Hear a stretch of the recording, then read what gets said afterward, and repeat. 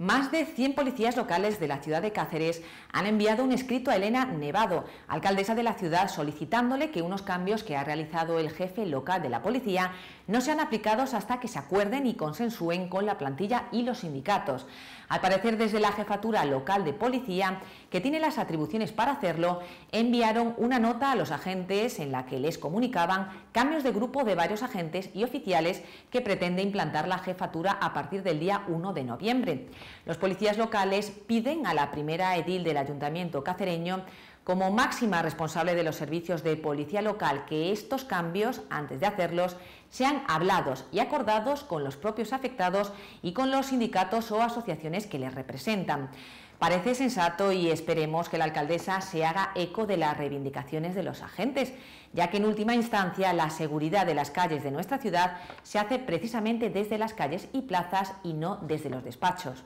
El ayuntamiento y la jefatura de policía tienen que darse cuenta de la importancia que tiene generar un buen clima de trabajo y más entre personas que no pocas veces se juegan el tipo. Por lo que pese a que las atribuciones para realizar los cambios las tienen ellos directamente y nadie lo discute, deben hacerse de manera objetiva y para mejorar el servicio. Con unos policías locales contentos con su trabajo y con sus dirigentes, habrá mejor clima laboral y por lo tanto se traducirá en más seguridad en las calles de la ciudad.